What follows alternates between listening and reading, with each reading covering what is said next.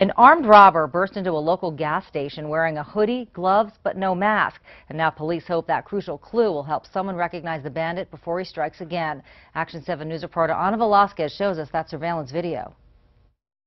What appeared to be a quiet night at the giant gas station on Coors and Iliff quickly changed when this robber came in pointing a handgun.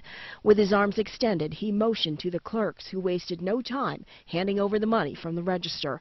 The footage is tough for some to watch. That's sad. What a shame. The suspect is wearing gloves and has his hoodie on, but notice he is not wearing anything to hide his face. It's sad.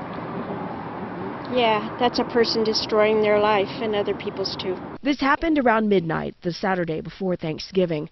The robber was so intent on getting the money, he ignored the customer who happened to be standing right there.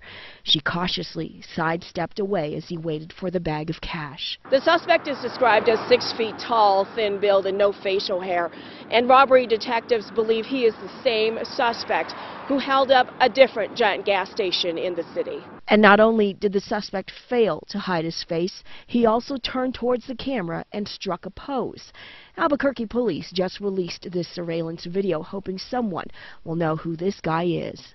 Ana Velasquez, KOAT Action 7 News. No one was hurt during that robbery. If you have information on the suspect, call Crime Stoppers at 843-STOP. A lot